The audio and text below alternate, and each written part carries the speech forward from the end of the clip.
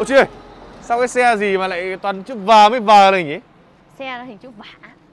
Xe vả? Sao lại xe gì mà lại, lại, lại lạ thế nhỉ?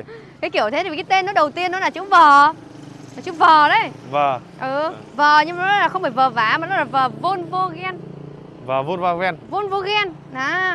Cái tên gì đọc mà líu líu hết cả lưỡi Lưu cái nữa nhỉ? Ôi giời, con này nó là, là bị làm sao đây hả chị? Con này nó chả bị làm sao mà đó là kính không viền Kiểu Kính như không xe viền á? Kính không phải xe không kính không À. Kính không viền cái, cái cửa trước thôi.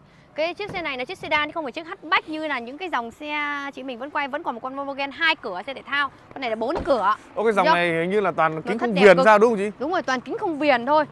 Động cơ chỉ có 2.0 thôi mà sedan thì chạy rất mượt mà đời 2.10 thì dáng rất hợp Con lý. ờ, trông dài dài mà to này mà gọi là máy 2.0 á. Ừ mấy 2.0 con này thì làm gì mà to đâu. Nó vừa phải thôi. Em thấy nó cũng Nó dài nhỏ dài nhỏ. mà như con này có 4 chỗ mà. thấp hơn chị quá nhiều luôn Thế là con này là Chưa? đời bao nhiêu chị nhỉ? Con này đời 2.10 động cơ 2.0 và chị đang chào bán mức giá là 295 triệu. 2 là 10, 2.0 Ừ, đúng rồi. À. 2.10 2.0 đó chưa? Xe có vẻ còn nhìn led phết đấy chứ rồi nhỉ? tất ra thì theo xe luôn ngồi ghế sau khác ghế chủ tịch. Đó chưa? Cốp đầu đầy đủ thoải mái luôn. Thế là ờ, con này gọi là là ờ, hốc nó tầm bao nhiêu lít chị nhỉ? Con này á con này dao động tầm 9 đến 10 lít trên trăm cây đó chứ mấy vì nó nhỏ nhỏ mà. 9 đến 10 lít? Ừ tầm tầm ấy thôi. À, Thế là cũng hợp lý chứ đó, nhỉ? rất hợp lý luôn.